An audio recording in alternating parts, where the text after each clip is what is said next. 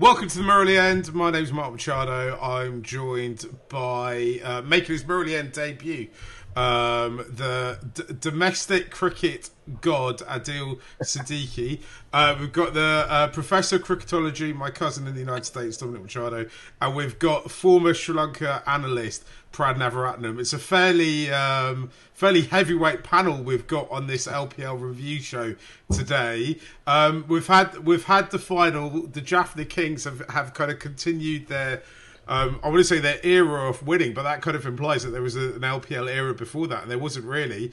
Um, they've kind of won yet again, even though they've had quite a lot of changes to the, to their team and, and to the franchise setup. They beat Galle in the finals. Uh, we're just going to go around and, and have a chat about kind of what we think went on in this LPL. Who who are the people who um, who stood out for us? Who are the people who might have slightly underperformed? And uh, um, you know what what might happen in the future of this tournament because it kind of feels like it's all up to play for. If you haven't done so already, hit that subscribe button, hit the follow button, leave a comment, um, tell us what your thoughts were of the tournament, um, and leave us a like at least if you're watching on YouTube or even on Facebook. You can watch the show.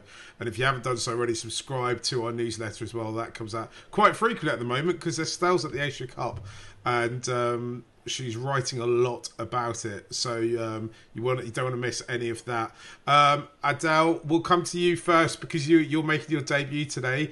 Uh, what's your kind of overall takeaway from the tournament? Are you happy with the way it's all gone? I can see the drones have found a nice home behind your head.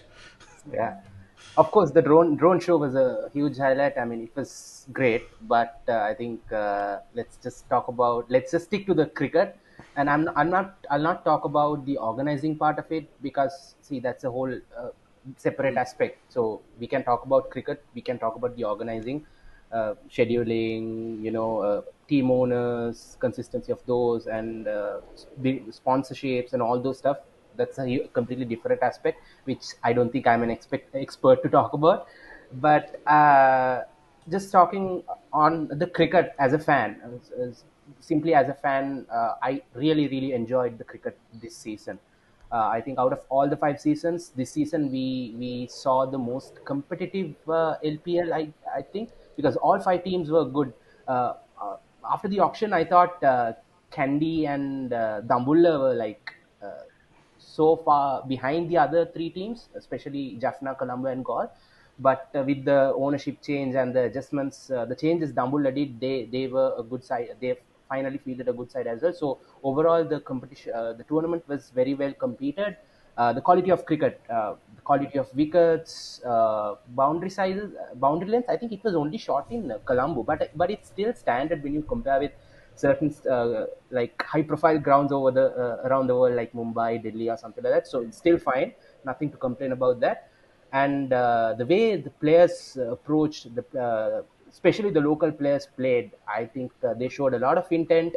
Uh, the scores were good, um, and of course the foreign players. I think we had the uh, best uh, bunch of foreign players this time. Yes, we didn't have these big names like Babar Azam or David Miller or someone like that, but I think we had these hot shots like Glenn Phillips, dynamite player, uh, Tim Seifert, Alex Hales. Even though he's retired, still he's got it uh, and uh, Mustafiz was there, even though he didn't play much towards the end. Uh, so yeah, we've got really good uh, foreign players like the hot shots, the informed players. Uh, Friday Rossouw, 200s, great tournament. So yeah, I'm really happy with the uh, cricket which was played in the tournament. Uh, but there's a slight disappointment with regards to team selection strategies because, like, I think Pradville uh, Prad will talk talk about it uh, uh, better, and he, he's the expert here because modern we talk about modern cricket matchups, this and that, all those stuff. So I honestly, as a fan who like watch IPL, uh, all the other other leagues, international cricket, I felt teams are still not that equipped with that part. It was just you know coming out and expressing yourself because the conditions were great. So they just played good cricket, but the strategical aspect I think uh, they are still not that up to uh, the mark, uh, the standard that they need to be when we compare with other leagues and the other professional cricket teams around the world. But uh, and of course selection. So selection is also part of that. Uh, and as a as a Sri Lankan cricket fan, and as like you said, a person who is so uh, passionate about our domestic players, the opportunities that they got. I've got to say this. Uh, I'm really, really disappointed with the opportunities they got, even though there was a under 20, mandatory under 23 rule. Uh, certain teams clearly Kandy Falcons like uh, they didn't utilize it properly.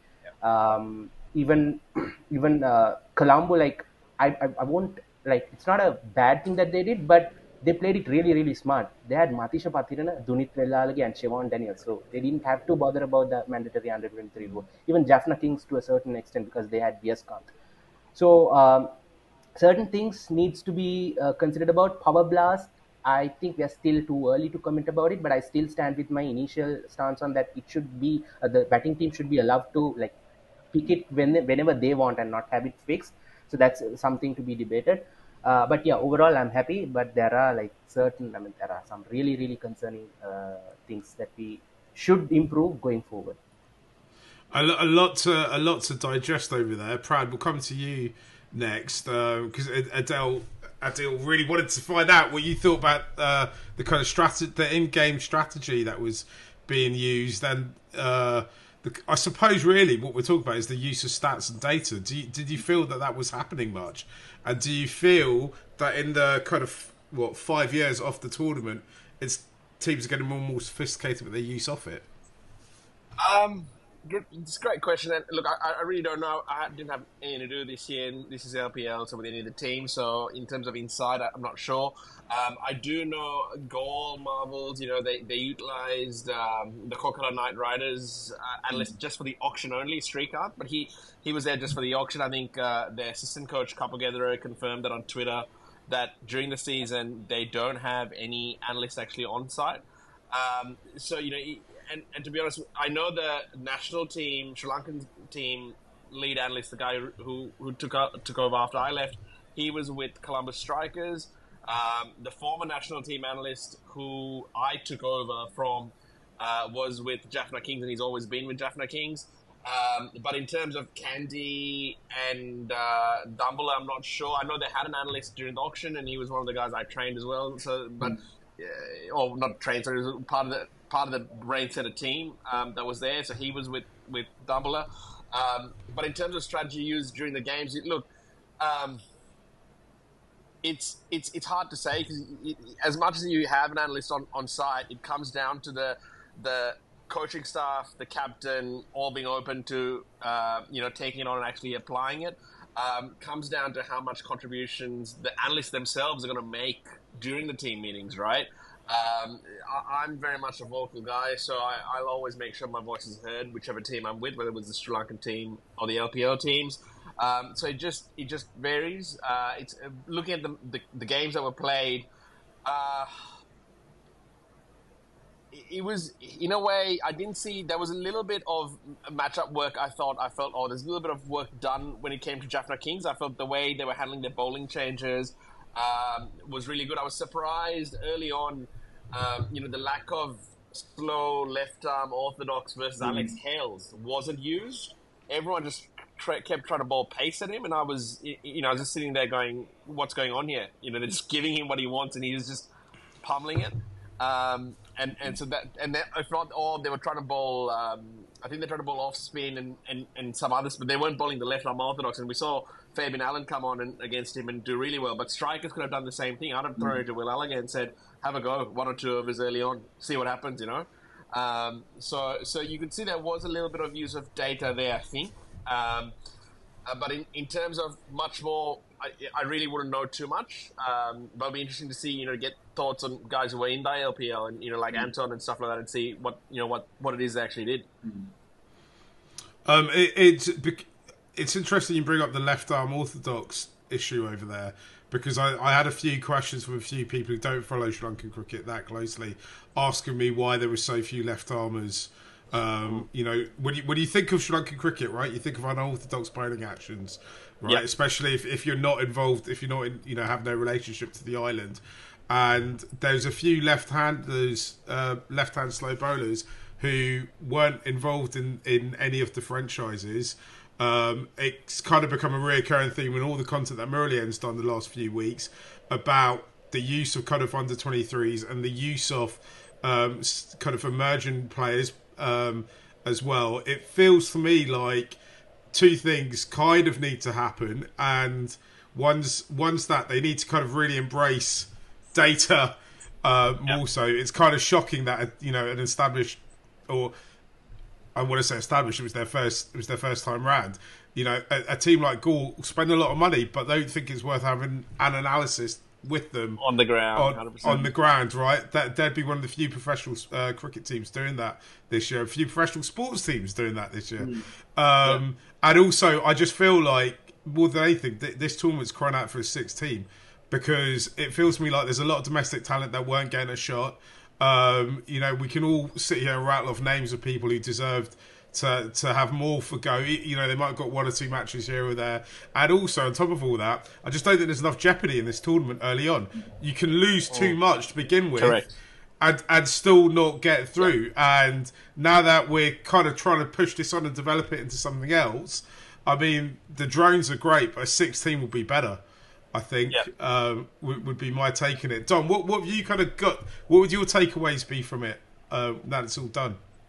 Yeah, I think you know just to pick up on a couple of points, the slow left armors I think is a really interesting point because um, you know Aadhil will tell you slow left armors dominate the first class scene, right? And they are such a valuable commodity in T20 cricket, and Prad will tell you that someone like Akeal Hosein, you saw how valuable he was, um, and it's and especially against right-handers, and you're thinking uh, we're about to go up against India, right? One of their big weaknesses is against slow left arm bowling. England, same thing. So having blooding players like that and realizing their value, who particularly against dominant batsmen, is something that you see missing, right? Um, I thought one thing that was interesting is Prabhath seemed to be used more and more as a white ball spinner uh, and showed his value. Someone like Nimesh Vimukthi also. Uh, ton of talent. I, you know, he, he did a great job tying up. I think Kusal Mendis one of in one of the early matches. So they have some talent. Someone like uh, Manuja Sanhan Sahan is also someone who uh, could fill that role. And I think you know, to, to Prad's point, with the use of analytics, I think it's even more important in high scoring matches, right? Because it's not something where you can say, okay, let's aim to restrict them to this much per over, right? You have to go for wickets. You have to try to make batters Correct. uncomfortable, right? Because if you're not making batters uncomfortable, it's going to be easy for them to score. And having a plan where you've said, okay, right, Alex Hales, right, you should be bowling, you should be trying slow bowling, right, slow left arm bowling against him early in his innings, right? And we we've done that before, right? We've we've used that. I remember, I think Praveen uh, Jayawickrama Yep. took some wickets against him too, right? So t- having those basic kind of fundamentals of like how do we balance an innings, um, how do we do it, and and I guess one thing that uh, you know sort of stood out to me, even in that um, the the game that Jaffna lost against Galle, they had DDS come in at six ahead of Omarzai and Fabian Allen, and that to me is is kind of stunning, right? What what is the strategy behind that, right? Even if you have DDS in the team and you think he's a valuable cricketer, when you're in the last five overs, the value that an Omarzai or a Fabian Allen add is just so much more. So I really take the point um, by both Prad and Aadhil that having that strategy will be really helpful, and I think it'll help the Sri Lankan players to understand the gameplay, right? And and we Mm. talked about um, you know sort of with Prad before about the influence it has on okay, how do you understand the T20 game to be played? What are the ways that you can win a T20 game? It just gives you more options, right? It seems like you have plan A, which is fine, but to be able to think on your feet and say, okay, well, what's a possible plan B or C that we can get to when a batsman is running rampant? What are the ways that we can we can tighten these things up? Um, but I also agree with Aadhil that um, it was a great quality of cricket. Lots of runs scored, lots of great spells of bowling. Um, it was really good to see pitches prepared to kind of teach Lankan players to play a more aggressive brand of cricket and adjust to that. And um, I think it's a good step. I also agree with Mark that a six team seems like it would be a good thing to bring in, and I think it would balance the, the talent. Um, there's a lot of parity at the moment. I think every team had between three and five wins in the first eight matches. So, uh, good tournament, but still some areas for improvement. I think thinking about how how fan interest can be drummed up a bit more might be another way to ensure that um, players, investments in additional squads, owners stay the same. But we can talk more about that later. Um, the the hundreds beginning in, in England today, uh, as I'm talk, as we're recording this, right? And obviously the hundreds absolutely divided English cricket between kind of uh, diehard cricket fans who think the hundred strangling it to county cricket to death, and I suppose kind of slightly more casual cricket fans who kind of can see the benefits in having it. I think a lot of the problem with the hundred is quite similar to the problem with the LPL in a way, though we kind of come to it from different ways, which is people don't really know what it's there for. So I think all four of us come come to the LPL with the idea that it's there to create the next generation of international players, right? That it's the the bridge between Sri Lankan domestic players to to going on to, to achieve great things on the national side, right? Well, I'm not entirely sure if you are invested in a team, you know, if you're a team owner or if you, if you a coach or if you're one of the people involved in it, that is what you care about. I think they probably just care about winning the tournament, right? And and because of that, it, it's the reason why we're not seeing enough or, or the what we consider the right under twenty three players getting exposed mm. or being played at the right times, and we get kind of frustrated by it. And you know, Prad, you've been involved in, in the machine. Do we need, as fans, do we need to reassess what we expect about this tournament? No, I think you're, you're, you're spot on. You nailed it right on the head. I, I know. I was see. I was with SLC around the time um, they they they planned and launched the National Super League. That's when you know the, remember the cricket committee led by Aravinda De Silva was on. I, was there. I was part of it when Tom Moody came in, Mahela was running it. Um, and the whole plan was the Super League or the National Super League, the NSL, was there for your tests and your one days, and they were going to use the LPL for the exact same bridge for T20s. So you nailed it on the head. That's what SLC is using it for in terms of selection. They want that to be the bridge to international cricket. Um, and at the same time, you want owners to come on board and, and, and create it. Look, where I think, this is just my personal view, where I think the gap is, is that um, the, the way, whether it's IPG or SLC, I'm not sure, but the way they've structured it for owners, there's just no return. So all they want to see is them to win, right? So they effectively, they're not, if I was IPG or SLC, I'd be offering the owners, hey, take a five year ownership, mm. not a one year by year, just take a five year ownership, pay it off year by year, whatever you need, right? Uh, and invest in this team and don't, like, let's not chop and change um, squads, right? You got to build mm. brand value. You got to build a following. That's how you. That's how the owners are going to get their return back. So to build a squad, you got to do it like the IPL. Have a mega auction every three or four years, even if you need to, and get the ownership run over that period as well. But because even over that period, if I was owning a team and I've got to the fourth year, yes, I'm going to have to change my team around, mm. but I'd be just at the precipice there of getting a return on my investment. So I'm probably going to go for another mm. cycle of another four years. And yeah. suddenly you've got the same owner across eight years, uh, and you're seeing greater greater returns. So I think that's where we've missed the boat a little bit. And if you do it that way, then the owners are also invested in re- ensuring that there are players that they're investing the players, and the, and, and Sri Lanka cricket's getting what they want out of it. So uh, that's where I feel the gap is. I know we've talked about the the reasons why um, you know, it's not quite doing what we're expecting it to do, then can you now explain um, in, in 5,000 words or more uh, why Jaffna keep winning this tournament?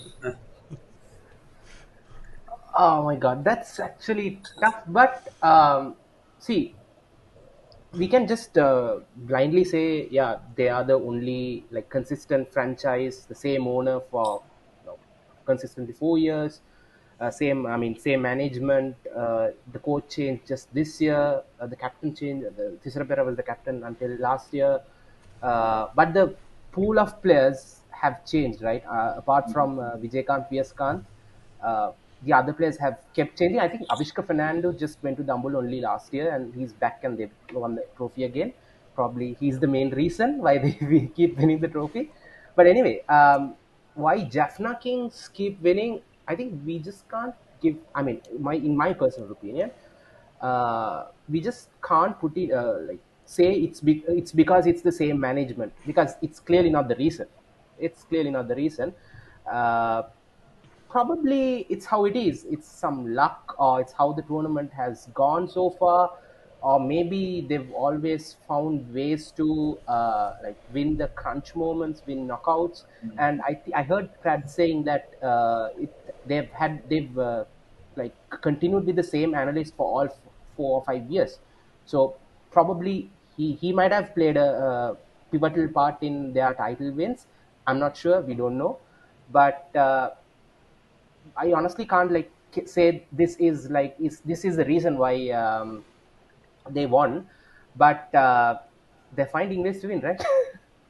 but I, yeah, I, I, one thing I hope is like they they continue like uh, the management continue to own Jaffna, and uh, and and there is one thing that I'm actually disappointed about them. They've won four titles, right? Uh, four titles in five seasons is no mean feat just take the trophy to Jaffna, man. Just show it to your home fans. Yeah. Uh, like create some uh, fan interaction. Uh, and something I really appreciate about Galle this season was like even before the tournament started, they had some fan interaction event down in Galle. I'm not sure if there was a huge turn turnout, but still, still, um, that was a good initiative. Jaffna with four titles, just go there, take Charith Asalanka, just take him on a uh, open bus ride around ja- the Jaffna town. Just uh, there are enough, enough and more cricketers. There are some really, really uh, good schools playing cricket. Uh, they still don't have a stadium with a turf wicket, but still they are playing cricket. There are a lot of uh, budding cricketers. Just inspire them, yeah. have some fan interaction. The, the, we never talk about Sri Lankan politics in this podcast, and that's deliberate. But I know I did see that there is a British Sri Lankan politician who's quite keen to put a stadium in Jaffna, which oh. I, don't, I, I have no idea if he could win any election. I don't know where the election is, but that would be interesting if it if it did happen. But I mean, I'm not going to hold my breath for that, right? Um, uh, Dom, do, do you want to have a chat about um, some of the other sides because I feel we've talked about Jaffna quite a bit. Mm. We've ended up talking about Galle quite a bit. Do you want to mention? I, let's start at Kandy, right? Because they were they were kind of the, the reigning champions. There wasn't a huge amount of change in um, kind of with the core of their squad. Obviously, the ownership kind of fell apart in the last few mm. weeks going into it. Though I do know that SLC did suspect that might happen quite early on, and, and they they were they were forewarned that the previous owner might have run out of money. Um, but you know. Th- what happened to them because they did not cover themselves in glory, and there were a lot of players who desperately need to rebuild themselves after the World Cup. Yeah, it's you know they have an incredibly talented side. You know, um, Chandimal had a good year, right, um, for them, and Shanaka had a good year uh, for them. I think uh, Ramesh Mendis also proved his value both as a bowler and as a batter. Uh, I was really my, my the, the player who stood out for me the most though was Kamindu Mendis. I thought he really took that number four role that he was given and made it his own. He, um, you know, we all know how well he can play pace, but he was playing spin beautifully um, this tournament as well. So I was really impressed by that. I think they were let down by their bowling. I, you know, they they trusted Angelo and Dawson to contribute five to six overs and um, you know, on on wickets like this, you're going to pay for it. You might be able to get away with it on slower, um, lower wickets, but you're going to get crunched. And, and, and Dawson didn't bowl poorly. I, will just say that, but it's not a it's not a replacement for a high caliber bowler, someone like a Matheesha Pathirana. Um, so to me, it was they did not invest enough in their seam bowling stocks. Even they even benched Chameera which was again a, a kind of a strange decision. And uh, you know, I, I, don't know what to what extent politics are playing into it, right? Because someone like um, Pavan Rathnayake, who's a top order batter, was batting at nine or ten for them, right, to fit that under twenty three rule. Uh, is there another way they could have gone about that? Tried to make it work. Um, so I think they were lacking in the pace department. Hasaranga had a sort of middling tournament. I think he's kind of got to reinvent himself with the ball. Uh, not not that he's performing badly, but um, he's been figured out to an extent, right? People are starting to play him like an off spinner. Um, he bowls a little slower than perhaps other bowlers bowl in international cricket, and that can be valuable at times, especially when batters are new getting in and aren't haven't quite adjusted to him. But when he faces set batters, I think he he can go for big runs. So I think that's an issue. So their their talisman was kind of not in his best form. I think that's something that um, they're going to look for next year, right? Comparing last year to this year, led the tournament in wickets, led the tournament in runs, highest strike rate. Um, he was a phenomenon last year, and this year he wasn't quite able to carry them as much. So I think that all rounder heavy focus kind of struggled a bit in this particular tournament where there were lots of runs to be scored. Um, yeah, it's it's interesting the players from that squad that have ended up getting selected for um, the the national side, right? Um, because Chandimal's coming in and and, and ret- retained his place. Um, where I, I, definitely thought after the World Cup, I, I, thought probably seen the end of, of Chameera for the moment. Um, and you know he, he, he didn't quite light it up in, in the in the LPL. So we, will talk about that in, in a little bit more. Prad, I want to talk to you about the Dambulla team because obviously that's the franchise that you you know the best. N- new owners this time around. Um, as I think almost every time around. Um, what, what did you make of the way they set up in the end and, and how it all kind of panned out for them?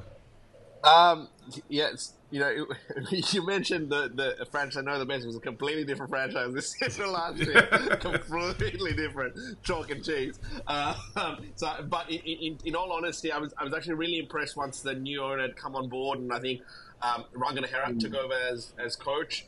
Um, the way they had then restructured that team with a few changes that Aadhil was mentioning before, they, they did really well. It was very mm. clever.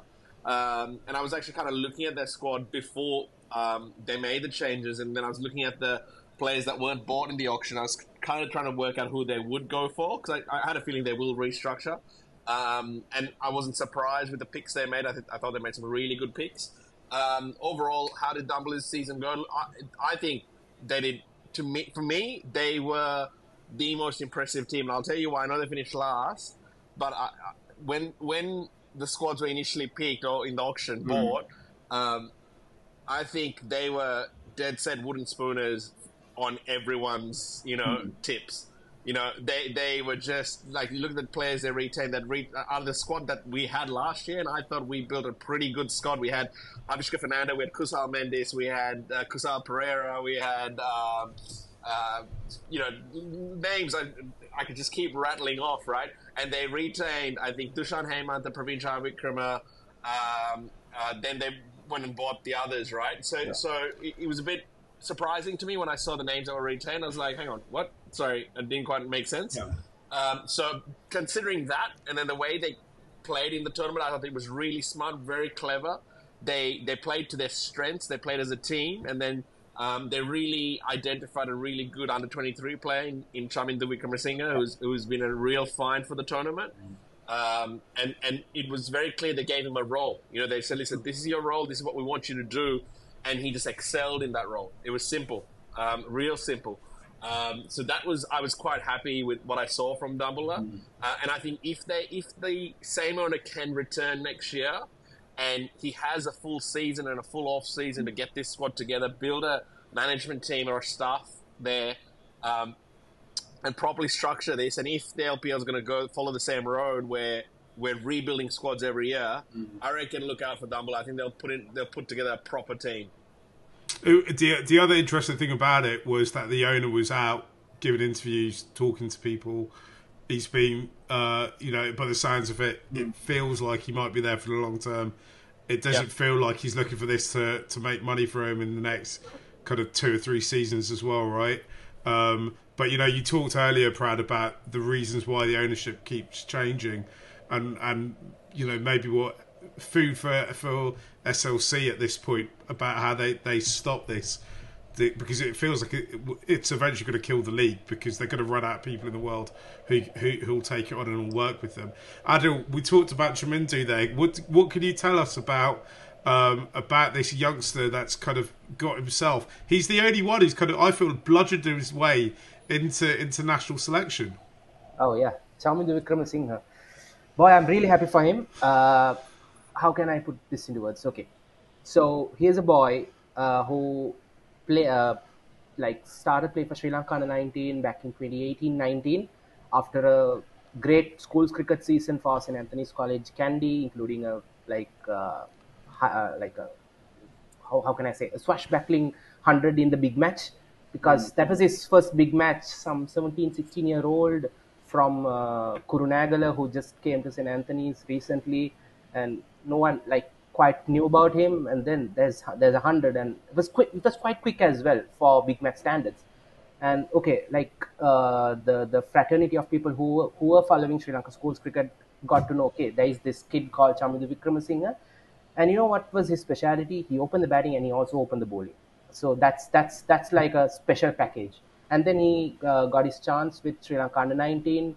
Uh, I think he toured West Indies, but unfortunately couldn't make it to the World Cup squad uh, 2020. And then after a, a layoff, he just he came back uh, because there was COVID, so there was not much cricket. And then he got back to the Sri Lanka 19 squad and uh, took the trip to West Indies for the World Cup. He played a few games. Uh, he has one or two uh, under 1900s as well. So that was it. And then uh, Chamindu Wickramasinghe was not heard of for some for, for a long time. 2022 and now we are to 2024. Uh, nearly two years. But he played one season for Dambulla, I think. Uh, and I recently got to know that he spent uh, around three months with the MRF uh, Academy. So he has done some work, and there were some interviews of him in different different channels. So I was like, Chamindu, I see you on YouTube. Where are you? I, aren't you playing? I'm not seeing you on domestic score scorecards or anything like that. But uh, here he got his chance. So we, when after the auction, uh, I just compiled a list of names of uh, deserving domestic cricketers who who missed out on. Uh, missed out in the auction, and even my uh, Chamindu didn't make my list because he had not played domestic cricket for some time. So it was not in my. I mean, he was not uh, ma- uh, making the rounds. But kudos to uh, the Dambulla Sixers for like identifying him and picking him. Uh, I think there is this uh, Kurunegala connection as well, which I am assuming because uh, the owner is from Kurunegala, Rangana Herath. Uh, they practiced in the Welagedara. Chamindu is from Kurunegala. So that's that's what we expect from uh, you know uh, franchise leagues, right? So the Mumbai Indians support Mumbai boys. So why not Dambulla support uh, the boys from the northwestern uh, region of Sri Lanka? And yeah, so that's how we got in. And okay, uh, Dam, uh, the just uh, reimagine the situation that he came into bat.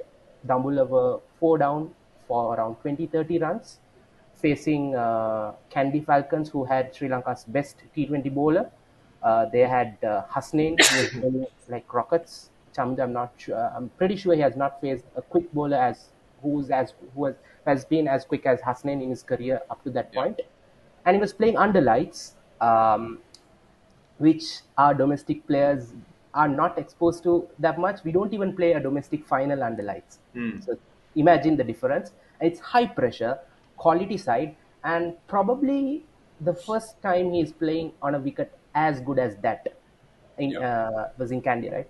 Yeah. So you know how the state of domestic wickets. Uh, you real, you hardly see a T20 hundred or, or at least a T20 score in excess of 80, 70 in domestic T20s. So that's the quality of cricket we play in uh, domestic games. So he's put into the deep end something has not done before, and you know what he did, right? Uh, he just took on Wanindu Hasaranga, he took on uh, Hasnain, uh, he took on some other fast bowler as well. So that that was a that was a great. I mean, that was a good innings if you like look at in T20 standards. But if you uh, look look at Chamindu Wickramasinghe from where he is coming, uh, the past experiences that he has had, situations he has played before this, it, that innings is of great great quality because uh, he's not used to these conditions. So that just uh, uh, like definitely that put him a few notches ahead in the pecking order for Sri Lanka selection. And he didn't stop there. He repeated it. So that's that's that's what makes me uh, feel really really happy for him. And the call up is hundred percent deserving. And uh, he might fail if he gets a game. He might fail miserably, which is which is common. I mean, which is quite normal because he's going to play. He's going to face the world champions. Uh, they're the best team in the world without any argument. So he, he could fail. And even if he had failed in that game against Kandy Falcons in Kandy, uh, I wouldn't have minded because uh, he should have been uh, back. But fortunately, he did. I, I'm not sure if the Dambulla uh, management would have given him all the games of the season if he had failed in that uh, game. But uh, kudos to him, he did what is required out of of him, and that's that's something. So I just spoke about uh, I know the question was about Chamindu, but I'll also just uh, speak something about Nuwanidu Fernando because this is the uh, this is what it is required from young players. I might be I'm, I might be being harsh here uh, for the youngsters who I back wholeheartedly, but this is what is required from them. Like the chances they get are very limited. Uh, the whenever they get an opportunity in LPL, uh, forget Chamindu's knock. Most of the time, they look mediocre. Just uh, look at the inning Pavan Rathnayake uh, played when he got to bat at number four in the only game that he like batted in his usual position. That was after two games. Uh, that was after two games where he batted at number nine. So imagine the pressure he's going uh, going through. And as I said, they're not used to playing under lights. They're not used to uh, facing these quality international level bowlers. And he, he he's not backed by his franchise for sure. Like even as outsiders, we can say that he, he he's not getting the sufficient backing, and he's sent to uh, stop a collapse and you know score runs in a T20, and he looked absolutely mediocre which is quite sure. I mean, which is quite fair. And if you judge those cricketers based on the performance in such situations, you're being really, really harsh on him. And at the same time, people like Chamindu Wickramasinghe who like deliver uh, absolute gems, when you when they deliver, people will say, if Chamindu can do, why can't Pavan do that? right? Right, Because right, these are right. these are comments which I see on Twitter. Uh, they say so. The, so there is this debate about the six team going on these days, right? So people, I mean, uh, most of the people say you should be able to deliver uh, when you are given the opportunity, which Chamindu did, and he deserves a national call up. Uh, so why can't the others deliver when they are given the opportunities? No, we still are not ready to go into the sixth team of course, uh, these players won't perform in their first uh, opportunity. They are not used to this uh, level. Uh, this is way, way higher pressure than what they face in domestic cricket or they've ever faced in their careers. Even in Sri Lanka under 19 levels, they've, I'm pretty Yeah. sure they've not faced this level of pressure. Uh, conditions are different. So we we have to go to the 16. Even if we go to 16, uh, like players might flop. So that's why I'm coming back to Nonid Fernando. Nonid Fernando's case is a bit different. He has played a bit of uh, cricket for uh, international cricket. So I honestly expected him, uh, especially given the squad Dambulla had after the auction, he was like a sure starter in that level. So I didn't see any other sure starting names in that squad because, uh, like Prad said, like that was a horrific uh, auction from Dambulla Thunders, not Sixers. But uh, I, I expected Nuwanidu to like grab the opportunity and score score heavily. Uh, but unfortunately, when you're when you're given the opportunity, like it's again it's harsh. If Chamindu can do, it's again I'm asking the same question. If Chamindu can, can do, why can't Nonidu do? I'm being harsh because he is playing in such conditions after a long time. He's not used to that. But that's what is expected, even if you like it or not. So yes, there is this uh, part that is that should be done by the organizers and management to make sure they get enough opportunities. But it is also the responsibility of the players to grab the opportunities when they uh, get the opportunities. So it's a bit of a balance. So we as like fans we can always stand with the uh, youngsters and back them. But it's not how uh, the majority looks at it. Like if you're not good you're not good son. So that's what we've Yeah. been heard right uh, so yeah, Uh, that's that's just about Chamindu and the young players. The fate of them So- in LPL.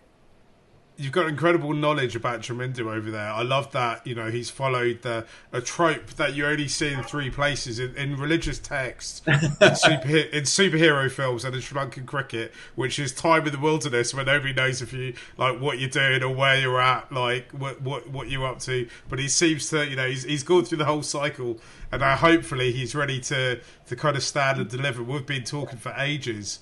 Uh, I think basically since since Murali End existed about how we need a, a seaming all rounder. I'm not sure his bowling is quite up to international status, but Yeah. you know how, how it, it, I think international cricket's another level, right? My Yeah. final question about the LPL was going to be. I talked about this quite early on. Is the stand how far away is the standard and intensity around this league to international cricket? is the gap? How big is it? We saw Kusal, saw Pathum, we saw Vishka, saw KJP all score huge amounts of runs in this tournament at various times. We saw, you know, all, all your old Sri Lankan favourites all in the runs at some point. How, you know, Bardika uh, made a made a return to the big stage in the final, right? How much can we read into this as fans of Sri Lanka first and foremost? Into you know what does this mean for when you get to the top? Uh, when they when they're playing India next week, does you know does Kusal Mendis's runs mean anything? Uh, when it when he's he won't face Bumrah, but he'll be facing the pretty fearsome attack. Dom, what do you think?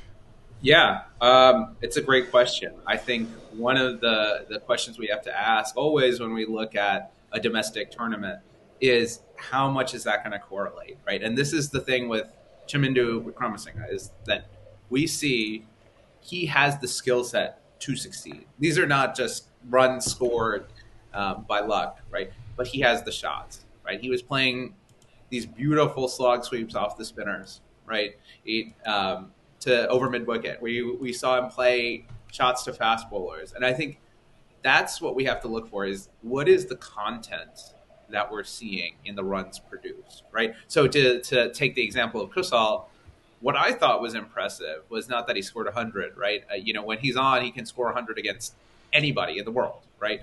Uh, but the quality of his batting against spin, I thought was absolutely exceptional.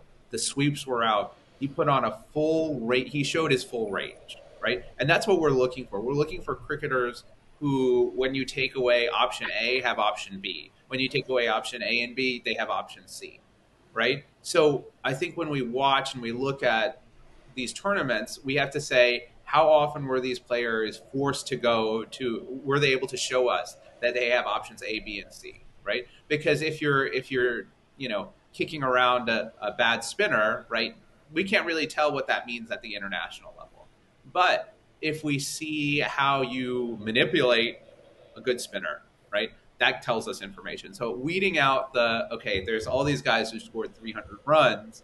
What have they shown that's different from what they did before? So someone like Pathum Nissanka has shown way more intent, more power down the ground, more range against spinners, right? So those are things that you can cite and say this helps to tell me that they are ready for international cricket. Now, I think with the young boys, someone like Chamindu, you have to say, does he have the skill set that if we give him time, he can develop? And this is something um, I think Sri Lanka needs to pay attention to is who are those guys who have those rare skill sets that need to be backed at all costs? And we'll talk about this when we get to the squad. But I think that's something that we need to differentiate between performance and what that perform and the quality of the performance in terms of the skill set that those players are showing. So for me, Kusal's knocks showed that he's back in form. He showed his full range um, against a decent quality bowling attack.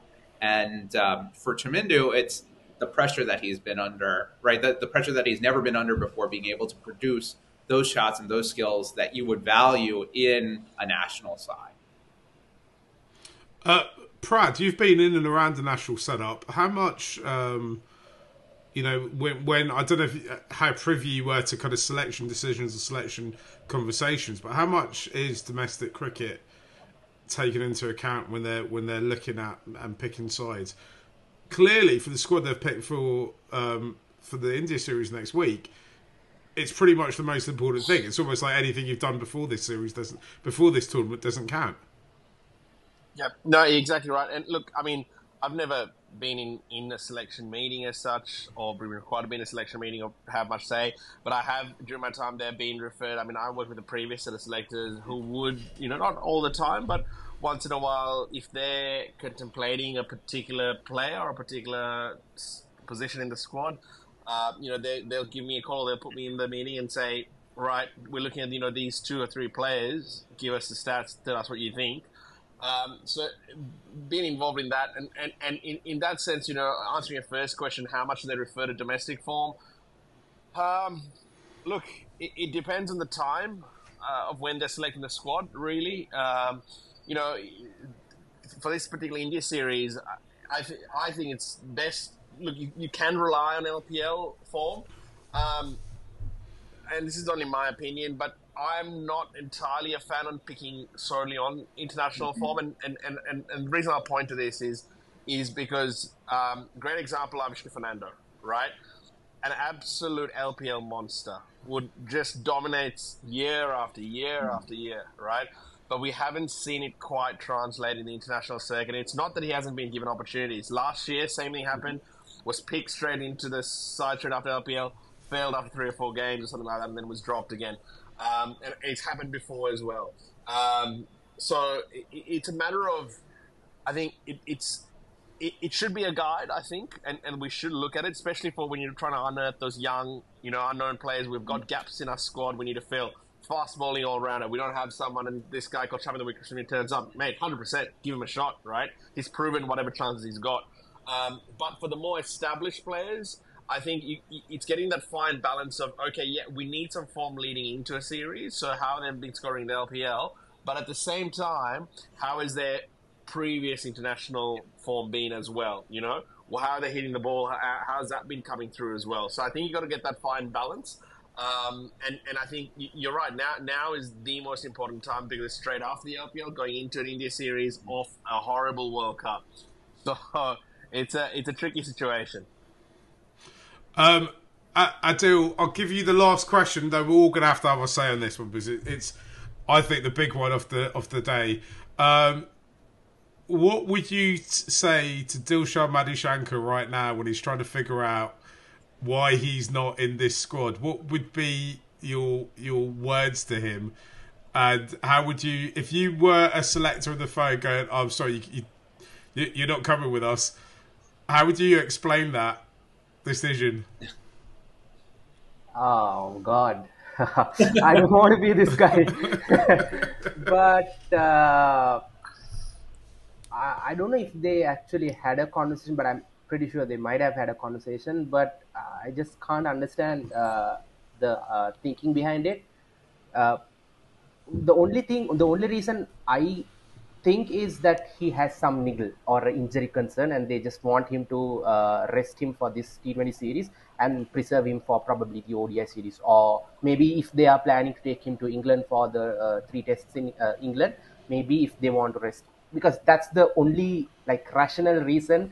Uh, I would uh, what do you call be satisfied with uh, if they've decided to in, drop him, but you, you can't just drop him like uh, even uh, we were just talking before the recording started with dom and dom was pointing out at the stats uh, even though his overall stats looks not that good uh, this lpl he has done quite well uh, with the new ball in the power play uh, I think Dom, will take us through the stats uh, when he's given the opportunity. So Dilshan Madhushanka had a decent LPL.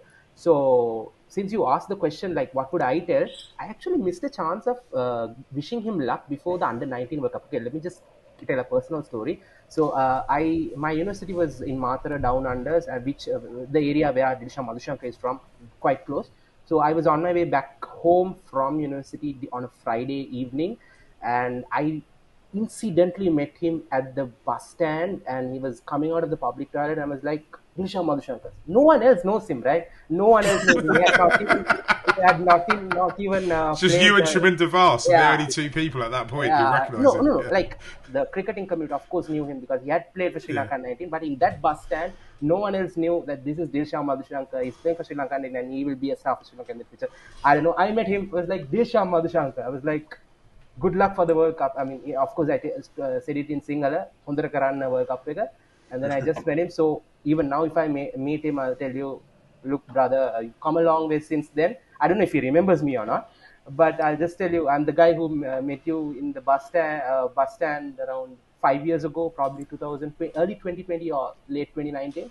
So I'm that same guy. So I'll tell you the same thing again. Good luck, bro. Your time will come. Uh, since I mean, since 2019, you've come a long way, and uh, it's only onwards and upwards for you. So just uh, forget this. Uh, you'll be definitely back in the squad, and you'll be uh, castling batsman again. Absolutely. Um, I, I, on that note, if if he is going to be in the Test series, Yeah. he needs to be in England as soon as possible because I don't I don't believe he's played any cricket in England. The pitchers are going to do something totally different when he starts throwing the ball into it. They need if that is the plan, they need to get like he can come and stay in my spare room. Look, it's all ready for him if he needs to. There's a cricket pitch right at the front. Like I'll, I'll go and keep wicket for him. Whatever, whatever they need to do. If he need like he needs to. It's not for the for the record. I don't live have a cricket pitch in my front garden. I live opposite a cricket pitch. Um, Dom, do you want to give us some stats about why why he should yeah. be in this side? Because I- I have seen a few detractors on, on social media today basically saying he didn't do much in the LPL. He, sh- he shouldn't be there. But, you know, we've heard Prad say it, you can't just pick on LPL form. You have to pick beyond that. We haven't. We're not even going to have time to get into the whole should Angelo be dropped? Should Chandimal coming in? We're going to do that for our next. Uh, the next show that you get from us will be a preview show for the series. We'll go into all of that in much more detail um, because there there is a lot to unpick with this squad. Um, and that will be one of the classic Murali End therapy sessions where we sit down, we talk about the decisions the uncles have made, and we just tell you why we think they've made them, and then you can go away and decide whether or not they're the right decisions or not. We don't want to tell, we don't want to, we never judge. SLC, we never judge. You make the decisions, and we kind of just have a conversation around it. That's what we try and do. Um, if if you uh, while Dom's getting those stats up, Yeah. if you if you're still here, please do hit the subscribe button, leave some comments, tell all your friends about us. Uh, we we try and discuss as much Sri cricket as we can possibly do around all of the other jobs and stuff that we've got going on um, with us, um, and we've got loads of content coming up about the Asia Cup. Uh, Estelle's in Dambulla as we speak, uh, watching it. I think she's one of the only very few journalists who are there. I think all the others might be working for the broadcaster. And uh, we've also got the, the the India series coming up, and then course the England Test series that we'll uh, will be covering in much detail as well. Dom, take Yeah. it away. So, in the power play, Dilshan Madhushanka bowled 11 overs at an economy of 6.73. His dot ball percentage was 52. He only gave up two fours. Um, he gave up six sixes. He only took two wickets, so that's you know that's what people are pointing to. But he was containing in the power play. And what I saw, and this is more important than the stats, is he was bowling in excess of 140 Ks, um, getting swing, right? And as Prad said, those are things, you know, Binura cannot do that. Binura had a great Yeah. LPL. Don't, don't want to take anything away from him. But can he swing the ball at 140 Ks? Does he have, you know, a record, you know, not even eight months old, where he took 20 wickets in a T in a in a ODI World Cup, most of those at the top of the order. Um, you can't give up on a 23 year old kid with that kind of talent, right? Um, it's it's something that you have to nurture. You have to provide pathways for, and and you know you have to look beyond the okay. He only took two wickets, he was bowling really really well. He was getting good shape. He was getting good pace. Uh, that's exactly what you want from your fast bowler. And you know when I think about this squad, one of the areas that perhaps they were missing in is power play bowling. Right, Nuwan Tushara came in and did a great job. But could you imagine pairing him with Dilshan Madushanka? That would be a handful. And then when you consider the fact we're playing India, right? India is well known for having trouble with left arm fast bowlers. Right? That's like a, a trope. Every team stacks their their lineup with left arm fast bowlers, and we drop our premier left arm fast bowler, who, mind you, last time he faced India, which was the ODI World Cup, he took a five for, including you know one of the balls of the World Cup to take Rohit Sharma second ball. And there is no justification for this, right? Um, and if we're talking about form, Dushmantha Chameera, I love him. He's he's a great, great. He's been a great server to Sri Lankan cricket, immensely talented. But he was benched by Kandy. How can you justify dropping a 23 year old gun player who has produced for you in the past, who has so much potential, and especially if we're thinking about the 26 World Cup, right? We're going to have that at home. That's 18 months away. We've got a plan for it. I, I don't understand, uh, you know, having four or five 30 plus year old guys, not, not just 30 plus, 32, 33 year old plus guys in the squad who play the same, who bat in the same position. Right? And, and and that's the thing that is mystifying to me is when you have the chance to back young generational talent, right? This guy has the talent to be an all-timer for Sri Lanka in what in the white ball format. You have to do it. Dropping and and and um, picking these guys at random hurts their confidence. And we know how much some of these young boys, right? Someone like Dilshan Madushanka from a small village in Hungama, right? How is he responding to that? Does he have the supports to respond to that? Right? Some people, yeah, it might work for it, but um, it, it's shocking. It's something where um, you you you wonder how the selection is being made, right? Uh, what are the what's the criteria they're using to choose these players, right? Um, and especially when you've just flopped out of a World Cup to go back to sorry, I'm going on to on things that we'll discuss at some other point, but um, it's a bad decision. Yeah, save that for therapy. Um, uh, I'll give you the last word on the LPL. Um, anything that you think we needs to be said that hasn't been said yet, say it now. The floor is yours. oh, look, I, I mean, um, I, I just because it's it's the point of the topic at the moment. I, am just going to be the devil's advocate for this Dilshan Madushanka selection, right? Just gonna. I, I don't know if this is where they're thinking. I, am not. I'm not. Uh, you know, a member of either camp. Uh, I think Dilshan Madushanka needs to be in the squad. However, the only justifiable reason I can see why they've done it, right? So besides the fact that he's niggling an injury or not, whatnot, is they've identified a very specific reason for having left um, off pace. Uh, you know, someone like a Binura who can just hit line and length. You know, um, so th- unless they've identified a specific role like that, and they said, "Listen, we need someone who can just do this." Uh, and then they've identified different different roles within the squad, and as such, Dilshan Madushanka has just missed out. That is the only other way I can think that makes sense in all this. Um, but look, I've, I've always said it, I've said it since day one, you know, firstly, we need to play. I know we're going to the India series here again, but uh, we, we're going to need to play a, a, you know six batters, five bowlers mm. combination. Mm. We have to do it. Whatever said that, we have to do it. And if we're going to do that, we're going to need variation within that. And that variation, we need a left armer. We, I, I mean, I really hope we don't stick with two paces. They're both slingers, and one in the Mahesh. We that is a that is not going to work for us, right? It, it just it does. There's no variation there. Um, there's mystery, but there's no variation, mm. right? Mm. Um, we we need a different angle. I mean, just remember, you, um, Dom was talking about the ball to Rohit Sharma. Taking it back uh, another year. Look at the ball he gave Virat Kohli in the mm-hmm. Asia Cup. Mm-hmm, mm-hmm, um, mm-hmm. It, it's the Indians don't like him, man. they don't like him. so I'm sure they're quite happy he's not playing. Um, yeah, maybe that's what it was, just to appease Jay Shah, just to get another series next year. oh, like, and if that's the case, then that's a level of chess that my mind can't really comprehend. So fair play to SLC if, if that's what they're doing. That's why I, I have... at the LPL final. He said, "If you pick Dilshan Madushanka, we're going to pull the." yeah, he's like, "No to that guy. That guy can't come here anymore." Um, Anyway, guys, let's leave it there. If you made it this not, far, please not do. Playing anymore, right? Yeah, yeah, he's, not he's fit. He retired, so yeah. Still, Kohli fears fears Dilshan, doesn't he? That's, That's why he retired. He knew the next yeah. the, the next uh, he was like, you know what, can't can't go out like that. There's there's absolutely no chance you go back to back tournaments without playing Sri Lanka and losing his wicket to to, uh, to Madushanka, right? So he was like, I'm, I'm calling it. I'm done. I'm going out in a high.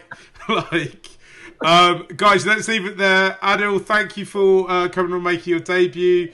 Um, we've been the Murali End. Uh, we'll be back in the next couple of days at some point uh, with with more cricket chat. Thanks for listening. Thanks for watching. Tell all your friends. Bye.